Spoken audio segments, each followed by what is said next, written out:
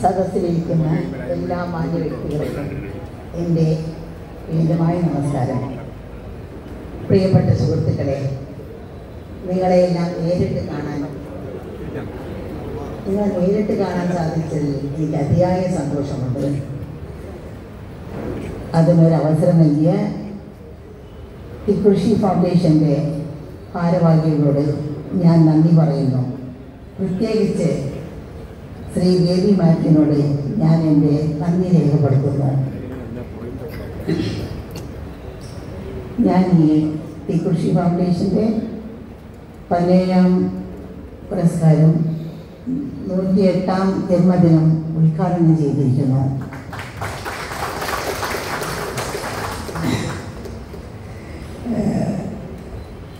Baby Mathew ആണ് എന്നെ ഈ ഫംഗ്ഷനിലേക്ക് വിളിച്ചത്. ഞാൻ അങ്ങേര് പറഞ്ഞ പോലെ സാധാരണ ഇപ്പോൾ അധികമൊന്നും പോവാറില്ല. പക്ഷേ അദ്ദേഹം എന്റെ വളരെ അടുത്ത് ഒരു കുടുംബ സുഹൃത്താണ്. അങ്ങനെ വിളിച്ചാൽ ഞാൻ വരാതിരിക്കാൻ ഒക്കത്തില്ല. അങ്ങനെയാണ് ഞങ്ങളുടെ ആ, ഞങ്ങളുടെ സ്നേഹവും ഞങ്ങളുടെ എല്ലാ കാര്യങ്ങളും. പിന്നെ ഞാൻ അടുത്ത് പറയാനുള്ളത് ശ്രീ പ്രേംകുമാർ. ചലച്ചിത്ര അക്കാദമിയിലെ ചെയർമാൻ. ചെയർമാൻ ആയതിനു ശേഷം ഞാൻ ആദ്യമായിട്ട് ഇന്നാണ് കാണുന്നത് അദ്ദേഹത്തിന്റെ എല്ലാ എല്ലാ നന്ദിയും ഇനി നല്ലതുപോലെ ഇത് കൊണ്ടു നടക്കാനുള്ള ദൈവം അദ്ദേഹത്തിന് നല്ല നല്ല നല്ല ബുദ്ധിയും നല്ല കാര്യങ്ങൾ ചെയ്യാൻ ഈ സിനിമയ്ക്ക് വേണ്ടി ഒരുപാട് ചെയ്യാൻ അദ്ദേഹത്തിന് കഴിയും ചെയ്യണമെന്ന് ഞാൻ അഭ്യർത്ഥിക്കുന്നു.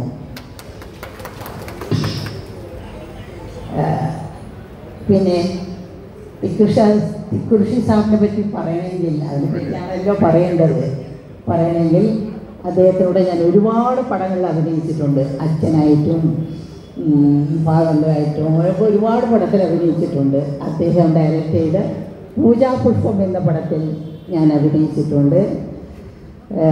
അപ്പോഴാണ് അദ്ദേഹം എന്നോട് ഞാനപ്പോൾ കുറച്ച് ഗ്ലാമർ റോളൊക്കെ ചെയ്തുകൊണ്ടിരുന്ന ഒരു സമയമായിരുന്നു. അങ്ങനെയല്ല ഇങ്ങനെ നടക്കണം ഇങ്ങനെ നടക്കണം എന്നൊക്കെ എന്നെ ഒരു അഭിനയം ഒരു ഒരു ഒരു പരിധി വരയ്ക്ക് എന്നെ പഠിപ്പിച്ച ഒരാളായിരുന്നു ടി. കൃഷി സാർ.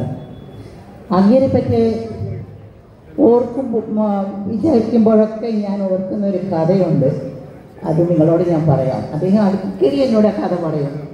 ഞാൻ ആ കഥ പറഞ്ഞിട്ടുണ്ടല്ലോ മോളത് എപ്പോഴും മനസ്സിലുണ്ടായിരിക്കാമെന്ന് അതായത് ആ കഥ എന്താണെന്ന് വെച്ചാൽ ഒരു വലിയ രാജാവാണെങ്കിൽ അല്ലെങ്കിൽ വലിയ മന്ത്രിയാവണമെങ്കിൽ അഷ്ടലക്ഷ്മികൾ നമ്മളുടെ അടുത്തുണ്ടെങ്കിൽ നമ്മൾ ആ സ്ഥാനത്തിലേക്ക് എത്താൻ ഒത്തു ഒക്കുള്ളൂ. അതായത് ധാന്യലക്ഷ്മി സന്താനലക്ഷ്മി ഗജലക്ഷ്മി ഇങ്ങനെ എട്ട് ലക്ഷ്മികളും ഉണ്ടായിരിക്കണം. എന്നാലേ നമ്മൾ ആ സ്ഥാനത്തിലേക്ക് എത്താനൊക്കത്തുള്ളൂ ഇപ്പോൾ ശ്രീ പ്രേംകുമാറൊക്കെ എത്തിയില്ലേ? അങ്ങനത്തെ ഒരു സ്ഥാനത്തേക്ക്. അപ്പോൾ ആരാ? എല്ലാവർക്കും കഷ്ടകാലം ഒരെണ്ണം ഉണ്ടാവും എല്ലാവരും ഒരേ മാതിരി ജീവിതത്തിൽ എല്ലാവരും എന്നും നല്ലതായിട്ട് മാത്രം ജീവിക്കില്ല. നല്ലതും വരും കഷ്ടവും വരും. അപ്പോൾ അങ്ങനെയുള്ളപ്പോൾ ആ രാജാവിന് ഒരു കഷ്ടകാലം വന്നു. അപ്പോൾ എല്ലാ ലക്ഷ്മികളും വന്ന് അപ്പോൾ രാജാവിനോട് ഒന്ന് പറയുന്നു. അപ്പോൾ ലക്ഷ്മി സന്താനലക്ഷ്മി എന്ന് പറയാണ് ഞാൻ രാജാവെ ഞാൻ വിട്ട് പോവാണ്. കാരണം നിങ്ങളുടെ സമയം കഴിഞ്ഞിരിക്കുന്നു എന്ന് പറഞ്ഞു. സന്താനലക്ഷ്മി അല്ലേ അപ്പം അങ്ങേരെ കുറേ ഭാര്യമാരുണ്ടാവും ഒരുപാട് പിള്ളേരുണ്ടാവും. അവരൊക്കെ ഓരോരുത്തർ ഓരോരുത്തരായിട്ട് ഓരോ അങ്ങനെ മരിച്ച് മരിച്ച് ഇങ്ങനെ പല പല ദുഃഖകരമായ കാര്യങ്ങളായിപ്പോയി. പിന്നെ അടുത്തത് ഗജലക്ഷ്മി. ഗജലക്ഷ്മി എന്ന് പറഞ്ഞാൽ അവരൊക്കെ യുദ്ധം ചെയ്യണമെങ്കിൽ ഒരുപാട് അവർക്ക് ഈ ആനകളും അതും ഇതും എല്ലാം ആവശ്യമാണ്. അപ്പോൾ ആ കഷ്ടകാലം വന്നപ്പോൾ അതെല്ലാം രോഗം വന്നും എല്ലാം മരിച്ചുപോയി. അങ്ങനെ എല്ലാ ലക്ഷ്മികളും വന്ന് അവരോട് ഇങ്ങനെ എല്ലാം ഓരോന്ന് പറയുമ്പോൾ അങ്ങേരെ എല്ലാം ചിരിച്ചുകൊണ്ട് ഇങ്ങനെ നോക്കി. ഓക്കെ പോയിട്ട് വരും. സന്തോഷം പോയിട്ട് വരും എന്ന് പറഞ്ഞുകൊണ്ടിരിക്കുകയായിരുന്നു. അവസാനം ധൈര്യലക്ഷ്മി വന്നു എന്ന് പറഞ്ഞു.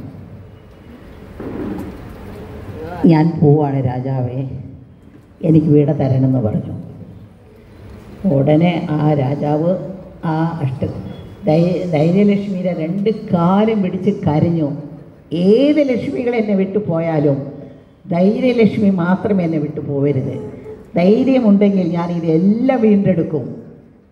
എന്നൊരു കഥ എന്നോട് എപ്പോഴും ഞാൻ എപ്പോഴും ഓർക്കും. കാരണം ജീവിതത്തിൽ എന്തെല്ലാം പോയാലും ധൈര്യം ഉണ്ടാവണം. ഇതെല്ലാം നമുക്ക് തിരിച്ചു കിട്ടും. ഇതെല്ലാം ശരിയാവും.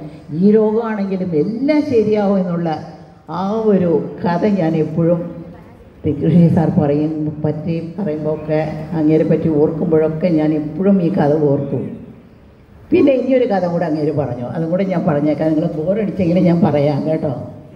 അതായത് ഒരു അലക്കുകാരനുണ്ടായിരുന്നു. അവൻ വന്ന് ഇവിടെ വന്ന് സിറ്റിയിൽ വന്ന് ഒരുപാട് സാധനങ്ങൾ ഈ തുണിയെല്ലാം എടുത്തുകൊണ്ട് അവന്റെ ഗ്രാമത്തിൽ പോയി അതെല്ലാം അലക്കി എടുത്തുകൊണ്ട് വരും. അപ്പോൾ ഇത് എടുത്തുകൊണ്ട് പോകുമ്പോൾ അവന്റെ ആ കടന്നു പോകുമ്പോൾ ഒരു പാലത്തിൽ ഒരു ഒരു ഒരു ഒരു നദി ഒരു ചെറിയ ഒരു ഒരു തോടുണ്ട്. അതിനൊരു പാലം ഉണ്ടായിരുന്നു. അപ്പോൾ ആ പാലം കടന്ന് വേണം അങ്ങോട്ട് പോകാൻ അവൻ അങ്ങോട്ട് പോകുമ്പോൾ തന്നെ ആ പാലം അങ്ങനെ ഇടിഞ്ഞ് വീഴുന്ന പോലെ ഉണ്ടായിരുന്നു. ശരി അവൻ അവന്റെ നാട്ടിൽ പോയി. എല്ലാം തുണിയെല്ലാം അലക്കി എല്ലാം അയൺ ചെയ്ത് എല്ലാം തിരിച്ച് എടുത്തിട്ട് തിരിച്ച് വരുന്ന അലക്കുമ്പോഴും തിരിച്ചു വരുമ്പോഴൊക്കെ അവന്റെ മനസ്സിന്റെ അകത്ത് എന്റെ ദൈവമേ ഇനി ആ പാലം പൊട്ടിപ്പോയോ ഇങ്ങനെയായോ എന്തായോ എന്തെന്നറിയില്ല. അവൻ ഒരു രണ്ട് മൂന്ന് ദിവസമായിട്ട് ഉറക്കോ ഒന്നുമില്ലാതെ അവൻ ഒരു ജോലി ചെയ്യാനൊക്കാതെ എല്ലാം കഷ്ടപ്പെട്ട് ആ മനസ്സിനകത്ത് ഒരുപാട് വേദനിച്ചിട്ട് അവൻ വന്ന് ആ വഴി തിരിച്ചു അവൻ വന്നു. വരുമ്പോൾ നോക്കുമ്പോൾ പാലം അതുപോലെ തന്നെ ഉണ്ട്. അവൻ ആ പാലം കടന്നുപോയി. അതായത് പറയുന്നത് വെച്ചാൽ നമ്മൾ വന്ന് നമ്മുടെ അങ്ങേര് പറഞ്ഞ കഥയിലേതാണ് നമ്മുടെ കാര്യങ്ങൾ ഇത് നടക്കുമോ നടക്കില്ലയോ നമ്മളിങ്ങനെ കഷ്ടപ്പെട്ട് അതിനെപ്പറ്റി ആലോചിച്ചുകൊണ്ട് നടക്കേണ്ട ആവശ്യമില്ല. അത് നമുക്ക് വിധിച്ചിട്ടുണ്ടെങ്കിൽ തീർച്ചയായിട്ടും അതെല്ലാം നല്ലതുപോലെ നടക്കും. ഈ രണ്ട് കഥയും പി കൃഷി സാറിനെ പറ്റി ഓർക്കുമ്പോഴൊക്കെ ഞാൻ എപ്പോഴും ഞാൻ ഞാൻ ഈ കഥകൾ ഞാൻ പലരോടും ഞാൻ പറഞ്ഞിട്ടുണ്ട്. എല്ലാവർക്കും വളരെ ഇഷ്ടപ്പെട്ട കഥയാണത്. എന്തായാലും പണ്ടൊക്കെ ഞാൻ കൂടെ കൂടെ തിരുവനന്തപുരം വരുമായിരുന്നു. അന്ന് എല്ലാ ആർട്ടിസ്റ്റും തിരുവനന്തപുരത്തായിരുന്നു. ഷൂട്ടിങ്ങുകളെല്ലാം മരിലാൻ സ്റ്റുഡിയോ ഇവിടെയൊക്കെ ഞങ്ങൾ കൂടെ കൂടെ വരുമായിരുന്നു. ഇപ്പോൾ ആരുമില്ല ഇവിടെ വളരെ കുറച്ച് ആർട്ടിസ്റ്റോടെ എല്ലാവരും കൊച്ചിയിലോട്ട് മാറി. പണ്ട് ചെന്നൈയിലായിരുന്നു എല്ലാവരും ഉണ്ടായിരുന്നത്. അവരെല്ലാവരും കേരളത്തോട്ട് വന്നു.